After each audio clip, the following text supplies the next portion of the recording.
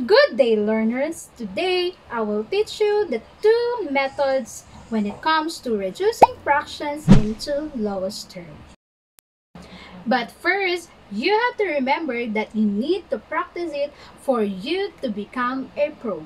So, parang naglalaro lang tayo ng favorite mobile lessons na kapag gusto nating maging mythic, kailangan nating mag-practice. So, learners, watch, listen, and understand.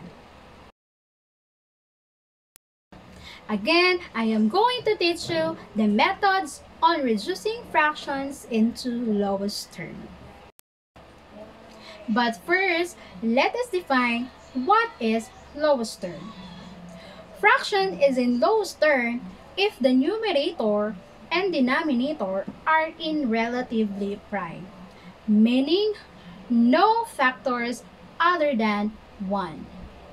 Examples 1 half, 2 third, 1 fourth, and so on. Let us start with our first method. In this method, we will be using prime factors to reduce fraction into lowest term. Here are the three steps to remember. Number one, get the prime factors of the numerator and denominator.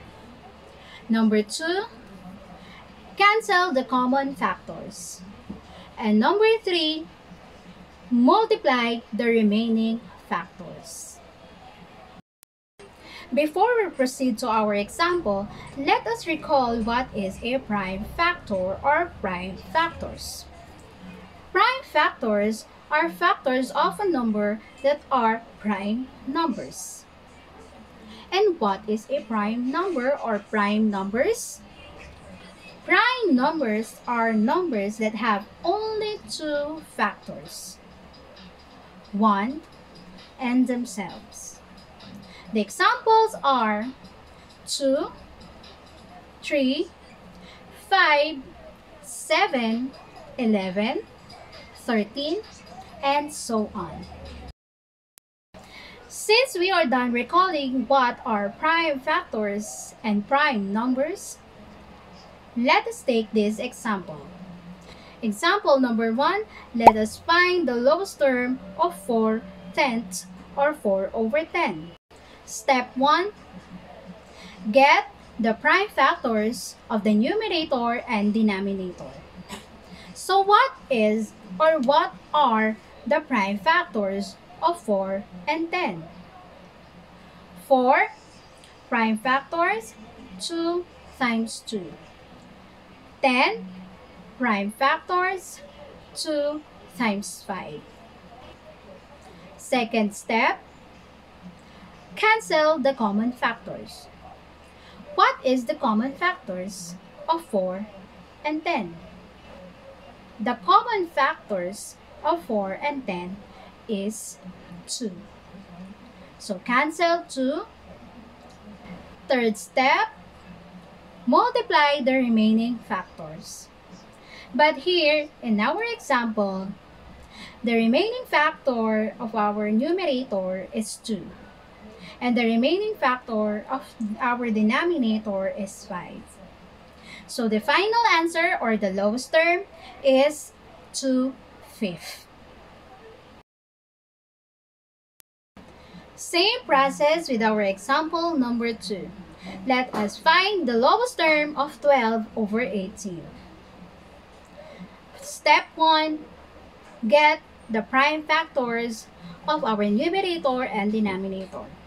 So the prime factors of 12 are 2 times 2 times 3.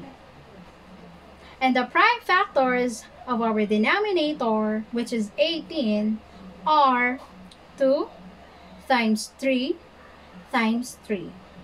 Step 2 cancel the common factors. As you can see in our example number 2, there are two common factors of our numerator and denominator. And those are 2 and 3. So cancel 2 and 3. Step 3, multiply the remaining factors or just write the remaining factors. The remaining factor in our numerator is 2. So we just write 2. The remaining factors of 18 is 3. So let us write 3. So now, the lowest term of 12 over 18 is 2 thirds. Let us proceed to our second method. In this method, it is closely like when we are getting the prime factors of our numerator and denominator. But here, we only need the greatest common factor. Those cancelled factors in method 1 is actually the greatest common factor of the numerator and denominator. Let us move to our example number 1. Example number 1. Let us reduce the given fraction which is 25 over 50 into lowest term.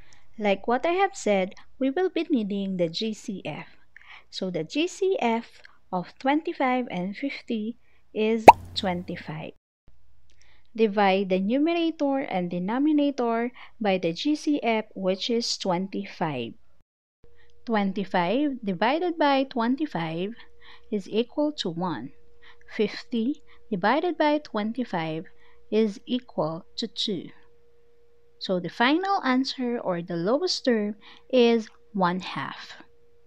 Example number 2. Find the lowest term of 30 over 70. The GCF of 30 and 70 is 10. So we will divide 30 and 70 by 10. 30 divided by 10 is equal to 3. 70 divided by 10 is equal to 7. So the lowest term of 30 over 70 is 3 sevenths. That's all for today.